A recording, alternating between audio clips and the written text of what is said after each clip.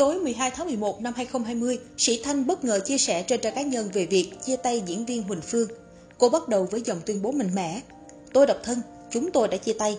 Dù là chuyện cá nhân nhưng mình quyết định thông báo cho mọi người cũng như những người yêu thương và ủng hộ chúng tôi thời gian vừa qua thông tin này. Đây sẽ là lần lên tiếng duy nhất của mình trong việc này, hy vọng các bạn không thấy phiền. Sĩ Thanh cũng chia sẻ thêm, sẽ có nhiều người nói rằng lúc yêu đương rầm rộ, chia tay thì im ắng. Các bạn cho là khoe khoang hạnh phúc cũng được, vì khi có hạnh phúc tôi sẽ khoe, còn khi thất bại đau thương tôi sẽ giấu.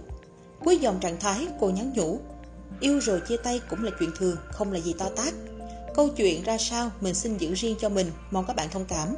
Hiện mình đang rất vui vẻ và tận hưởng cuộc sống độc thân lúc này, mọi người đừng lo nhé. Sĩ Thanh và Huỳnh Phương công khai chuyện tình cảm vào tháng 9 năm 2019, ngay thời điểm kênh Pháp TV của Huỳnh Phương và đồng nghiệp đạt nút kim cương có 10 triệu lượt đăng ký theo dõi của YouTube. Kể từ đó, cả hai thường xuyên xuất hiện tình tứ trong các sự kiện.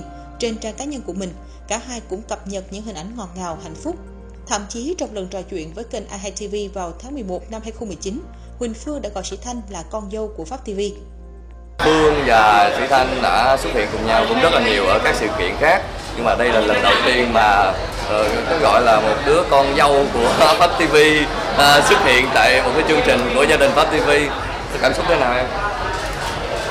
Con dâu ừ, một, một người dâu của Pháp TV à, như anh đã nói hồi nãy rồi thì uh, xuất hiện ở đây nó cảm giác nó vừa vui nó vừa hồi hộp mà nó vừa thoải mái tại vì diễn ở đây diễn giống như là người nhà của mình coi vậy hồi hộp ở cái là lần đầu tiên thì cũng dạo giống như là ra mắt đàn trai chàng trai vậy á Tuy nhiên, gần 5 tháng qua, cư dân mạng đã tình ý phát hiện cặp đôi này không có bất cứ tương tác nào trên mạng xã hội.